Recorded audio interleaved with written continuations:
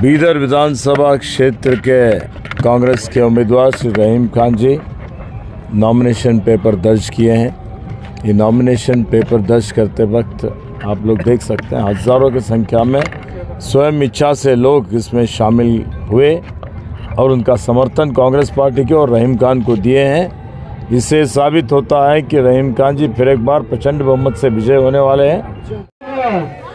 जनप्रिय ಸನ್ಮಾನ್ಯ ಶ್ರೀ ಈಶ್ವರ್ ಖಂಡ್ರೇಜಿಯವರ ಒಂದು ಸಮ್ಮುಖದಲ್ಲಿ ಇವತ್ತು ರಹೀಂ ಖಾನ್ ಅವರ ಇದು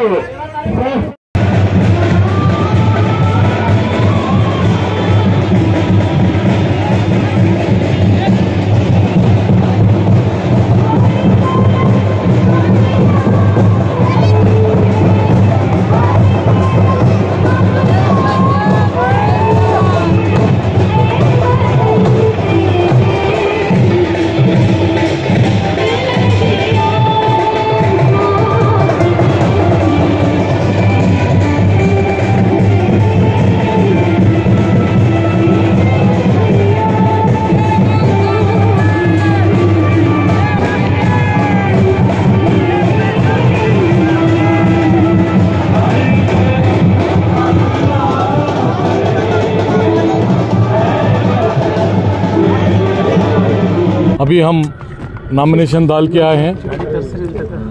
तो आज नामिनेशन की जो रैली थी, हज़ारों की संख्या में हज़ारों लोग मिलके किसान, नौजवान बिजनेसमैन महिला, सभी लोग यहाँ पे आए। मैं सभी लोगों का आशीर्वाद लेके आज नामिनेशन डाला हूँ।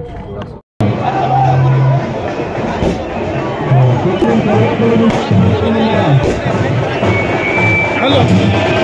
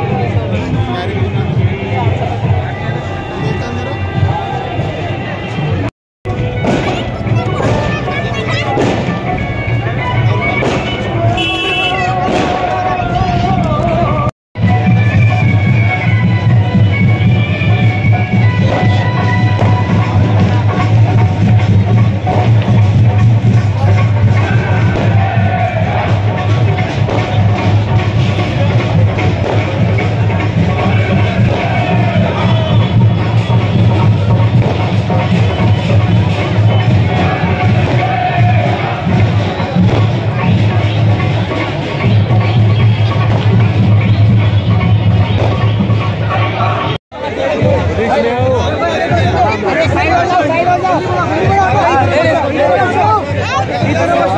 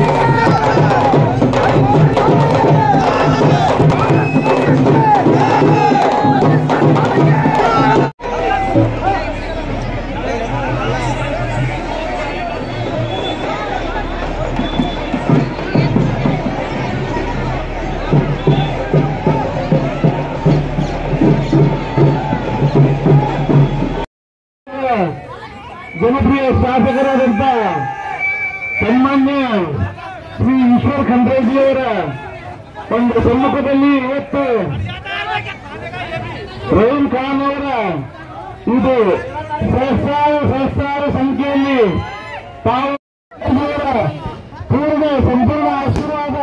ಪ್ರೇಮ್ ಅವರ ಮೇಲಿದೆ. ತಾವು ಬೀದರ್ ನಗರ ಜನತೆ ವಿರುದ್ಧಿ ಪೂರ್ವಕ ರೈಲ್ ಖಾನ್ ಪರವಾಗಿ ಹತ್ತು ತಾರೀಕು ಹೆಚ್ಚಿನ ರೀತಿಯಲ್ಲಿ ಮತ ಕೊಟ್ಟು ನಮ್ಮ ಜಿಲ್ಲಾ ಅಧ್ಯಕ್ಷರಾದಂತ ಬಸವರಾಜ್ ಜಾರ್ಶೆಟ್ಟಿ ಮತ್ತು ಎಲ್ಲೇ